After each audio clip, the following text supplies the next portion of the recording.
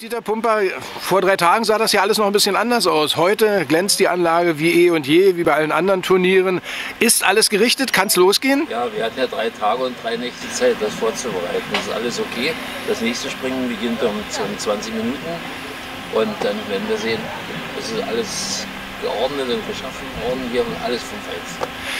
Es muss eine Menge an Aufwand gewesen sein. Mit wie vielen Leuten kriegt man das alles so hin? Wie viel seid ihr? Ja, so in der letzten Woche waren 30 bis 40 Leiter, die hier ehrenamtlich gearbeitet haben. Und da möchte ich mich auch bedanken dafür. Das ist Wahnsinn, wie die alle hier geschindert und geschuftet haben. Nun gibt es sicherlich Erfahrungen, aber ich denke mal, jedes Jahr ist eine neue Herausforderung. Man arbeitet, glaube ich, schon nach dem letzten Springen gleich am Gelingen des nächsten Jahres. Ja, nicht? es gibt eine Checkliste, die arbeite ich ab und was hier nicht klappt oder was verbessert werden kann, schreibe ich mir fürs nächste Jahr auf.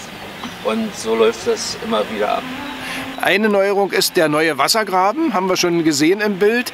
Eine Geschichte, die die Reiter so ein bisschen eingefordert hatten, nicht? Ja, nee, fürs Bundeschampionat, welches wir hier haben, ist der günstige alte, alte Wassergraben, aber der bleibt da, weil es historisch gewachsen ist. Den haben wir seit 1960 hier im Stadion.